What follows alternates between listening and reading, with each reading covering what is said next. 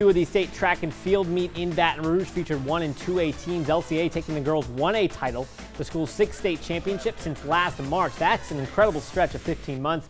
The Knights winning behind the strength of four individual titles. Here are those four titles.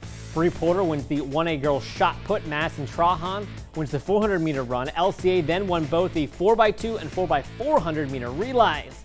In 1A, LCA also won the 4x400 meter relay. In girls 2A, Regan Lalou wins not one, not two, not three, but three state titles, not three, but but three. The Catholic High athlete won the pole vault 100 and 200 meter dashes. Her teammate Anna Gonzala wins the javelin.